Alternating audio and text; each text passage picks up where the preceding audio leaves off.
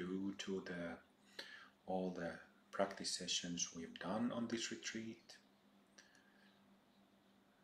Guru Yogas, all the blessings, charges we received from Mahasiddha Gurus, our own, the Guru within, is clearly seen, felt, recognized.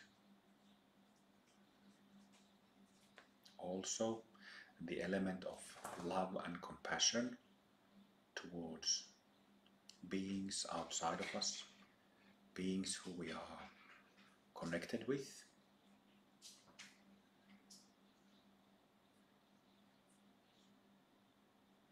On retreats, we can have this, we can dive into the essential meaning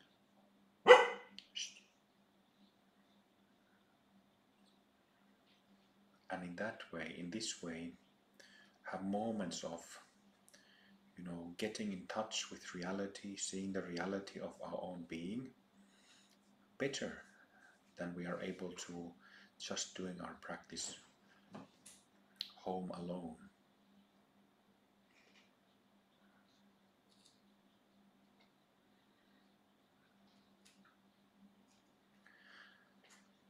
Always remember that you know we are fixed in these habits and patterns fixed into th- thinking in terms of self and other fixed into thinking feeling and doing or not doing things according to our traumatic conditioning. But learn to remove the box around the little lamp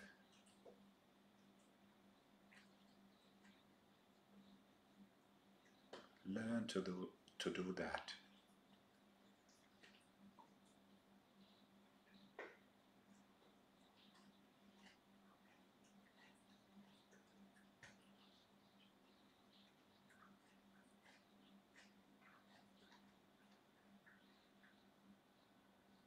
Learn to do that in meditation and also among activities because that's when the box comes back isn't it? Among people, wherever that might be, among activities, even when we are alone, we fixate into these habits and patterns, and the box begins to restrict our original light. But learn to do the opposite.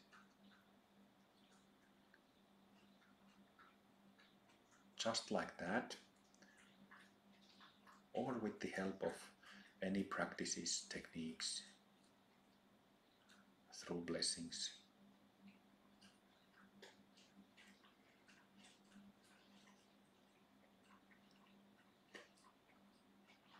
Let the original light, figuratively speaking, light,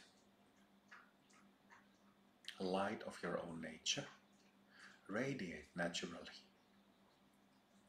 Not just 10% of it, not only 50% of it, not 70, not 80%, all of it. The light of our basic nature, may it radi- radiate fully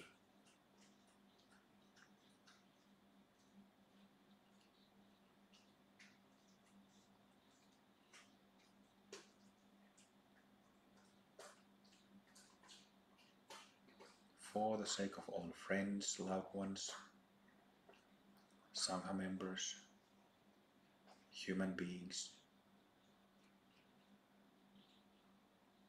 animals, wildlife,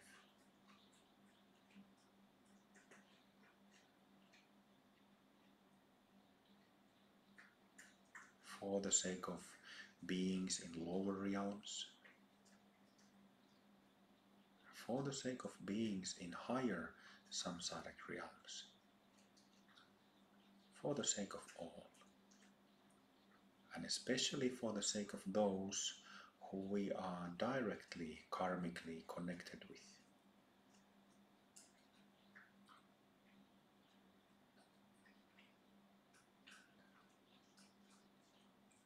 May our cultivation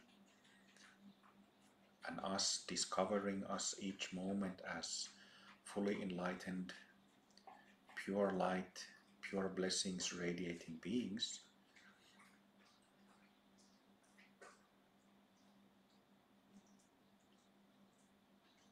May that light, may those blessings travel to all those who we know and knew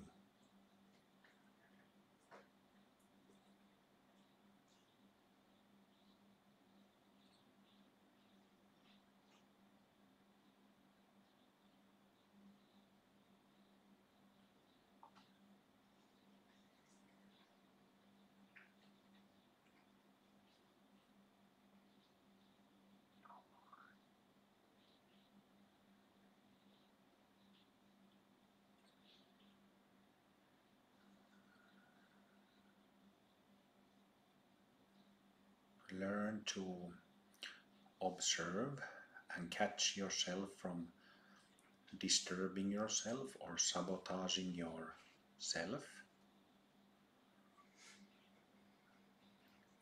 Because of our conditioning we think of ourselves in small way. We blame ourselves. We are not satisfied who we are or what we do or what we have accomplished. We might be hard on ourselves. Being hard from the perspective of being honest and sincere is good. It is good to demand quality from ourselves as beings from the ethical perspective but being hard on ourselves based on hurt and delusion, trauma and dualistic confusion, that is, that won't help us. So learn to observe yourself. Learn to stop yourself if you do that and when you do that.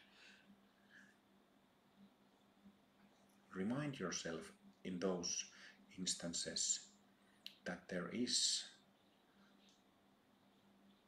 a fully liberated, fully enlightened, already complete and perfect being inside you right now.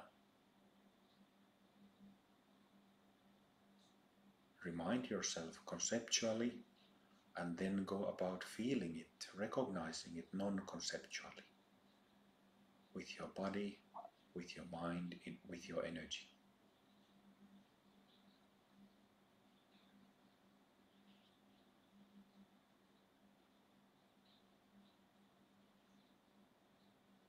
Whatever other stubborn habit patterns we have, interrupt those programs. Keep interrupting them. Do not allow them to keep your samsara going.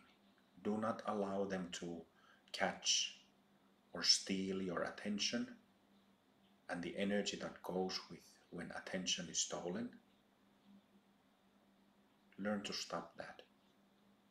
In meditation, in activities,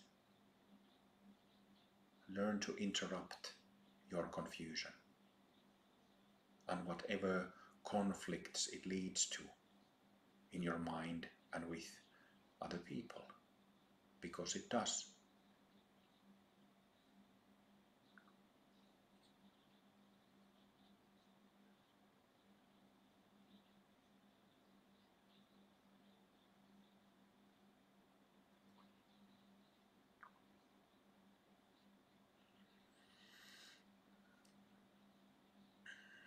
So, like uh, I have taught on this retreat, it is perfectly fine to work on healing ourselves and making our uh, reactive patterns softer if we feel like we need to do to do that.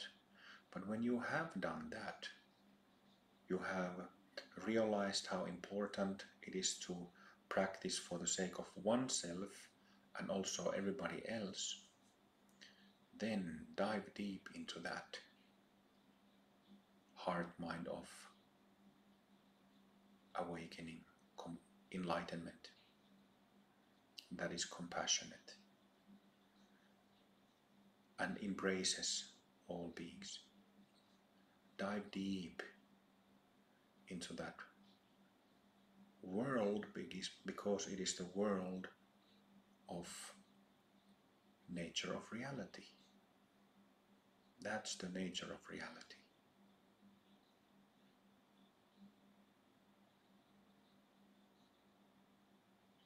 Have fun doing it, explore it, do a meditative study on it, like you've learned.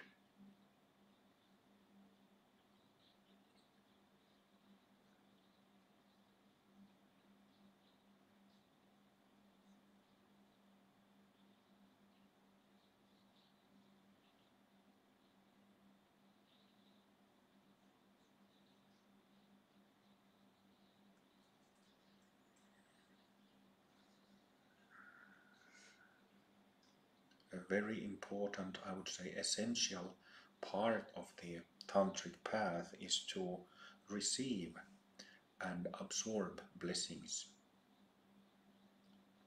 But as important is to give out blessings. To learn to give blessings. Because there is pure being in us that we are getting to know and gradually embody and live out in the world is why we can give blessings. Anybody can give blessings.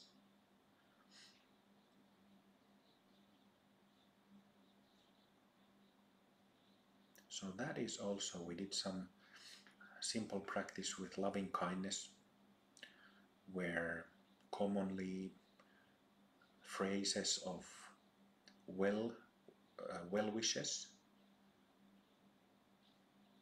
or positive affirmations are said. Same thing with blessings.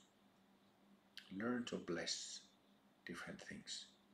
And as you bring blessings into your life, blessing your drink, your food, your work, your activities, taking a moment to bless, bring that energy of blessing into whatever you're doing, this also brings out your basic nature.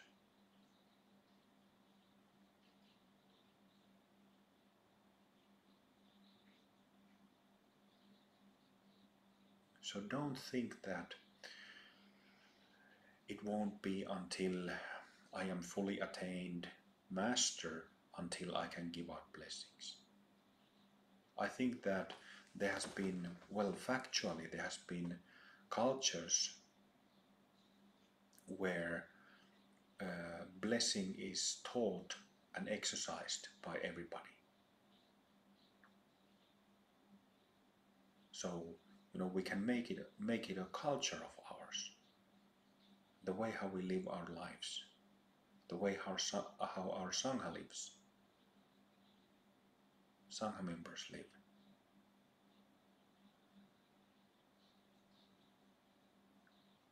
Explore your enlightened nature in these ways.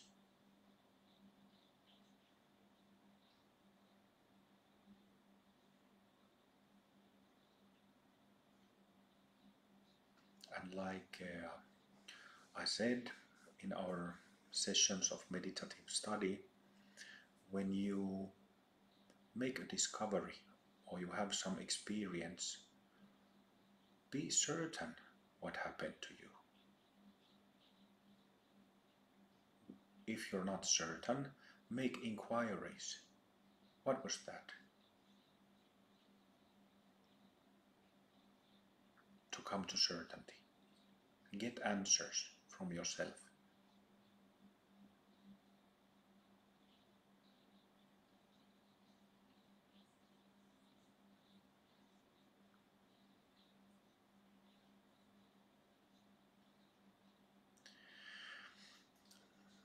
About two years ago, if I remem- re- remember correctly, I gave, um, well, on a couple of occasions, I've given teachings on tantric trauma therapy,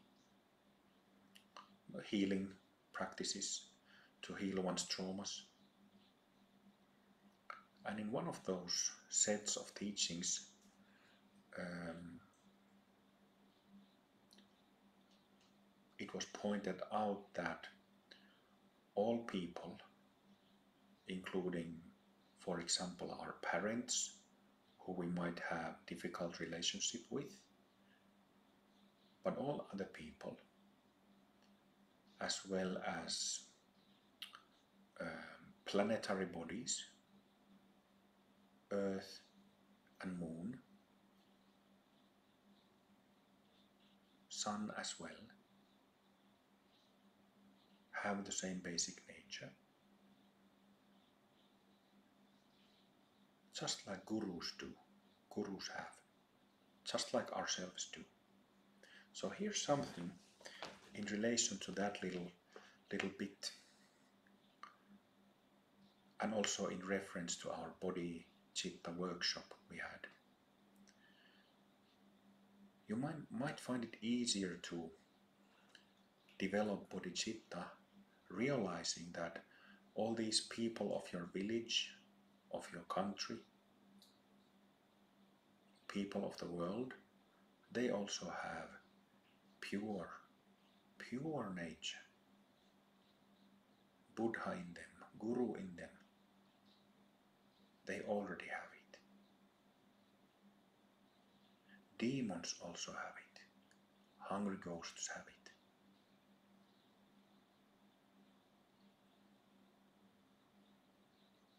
Beings of darkness in the places of darkness.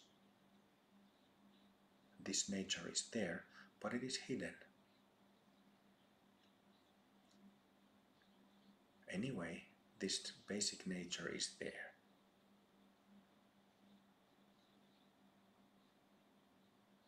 So we often think of surrender, surrendering we think of surrendering to at the feet of gurus, in front of deities, making prostrations in front of gurus and deities.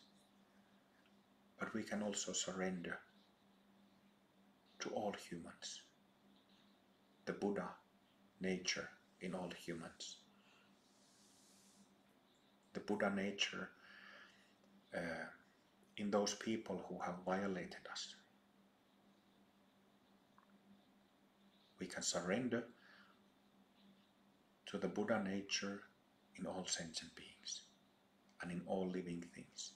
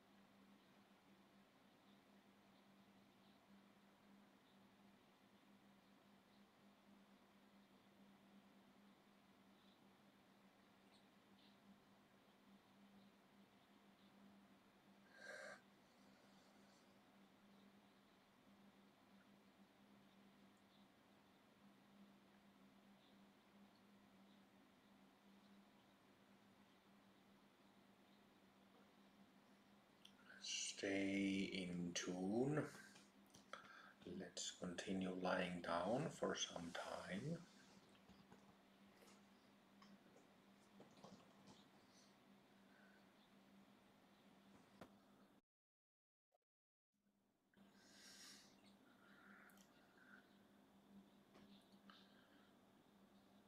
So let's continue a little bit more expressing our gratitude to our gurus.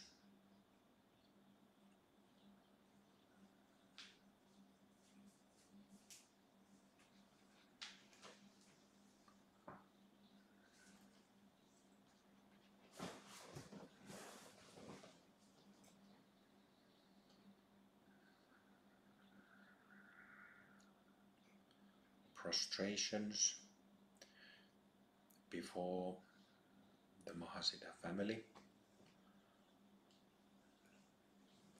All those great masters who support what we do in our mission.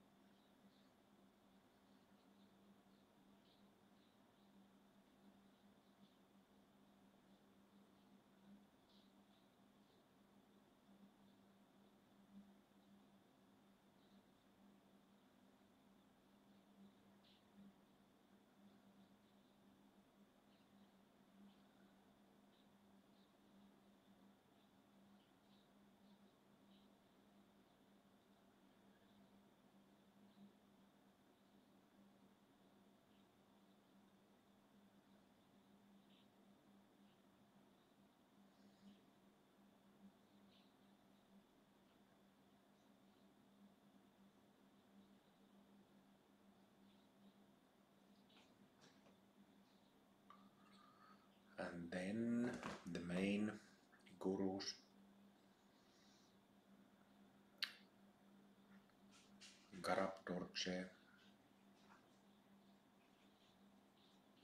And through his lineage to Guru Padmasambhava, Guru Pema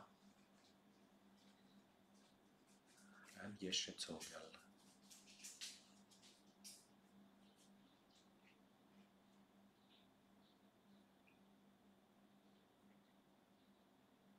full prostrations.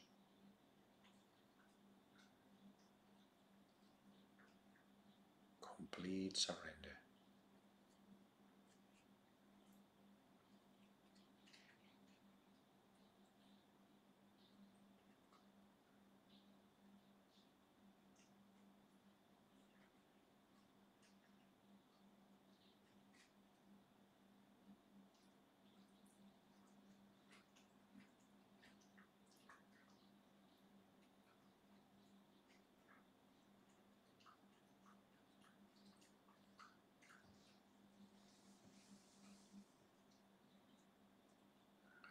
Then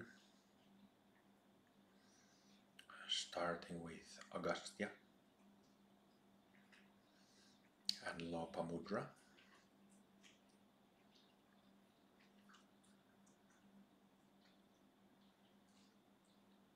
To Tirumular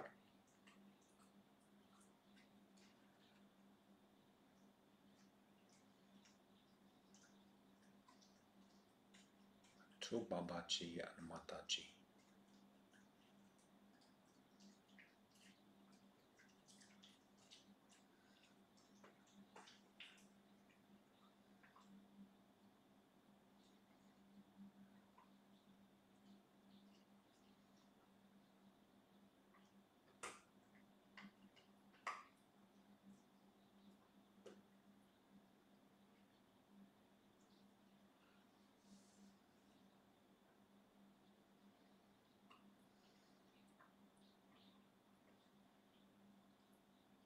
and also to Maranatha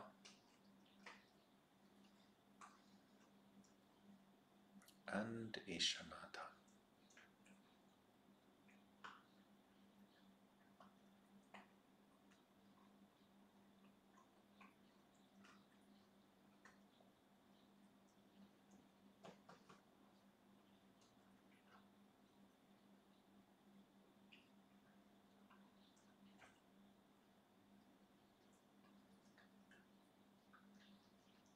Full prostrations.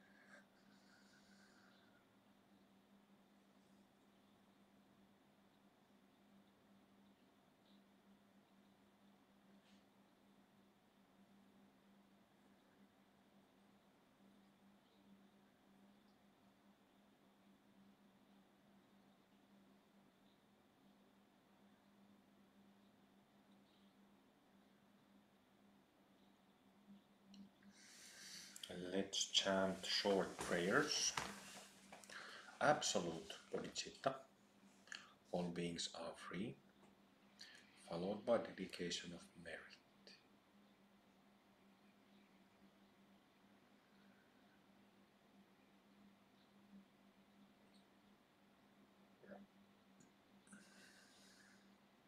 Inhale. All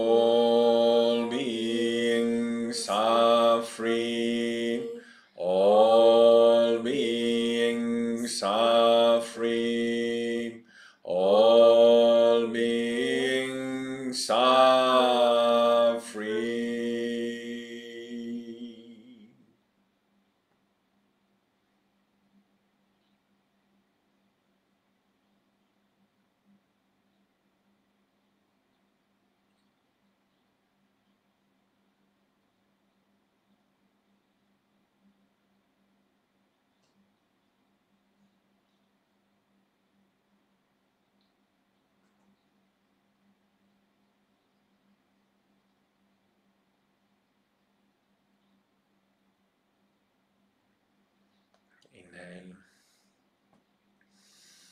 May all beings receive my accumulated merit. I dedicate the merit to the refuge and to all sentient